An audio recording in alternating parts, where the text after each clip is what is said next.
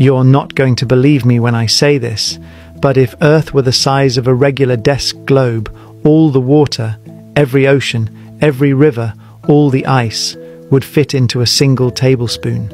And when you hear that, your brain immediately wants to fight it. This can't be true. Only a tablespoon, that's it. But it's just math, and all this can be easily demonstrated. If Earth were the size of a fridge, all the water would fill about three litres, barely enough to fill a few glasses.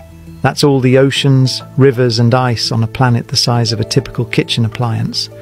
If Earth were the size of an elephant, the water would fill roughly 30 litres, about the volume of a large bucket.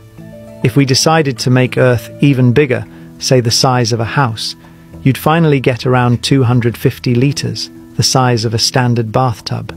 And finally, if Earth were the size of an entire city, all that water would fill a full swimming pool, roughly 100,000 litres.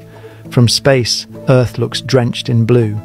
But shrink it down, and the oceans are shockingly thin, a fragile film that sustains all life on this planet.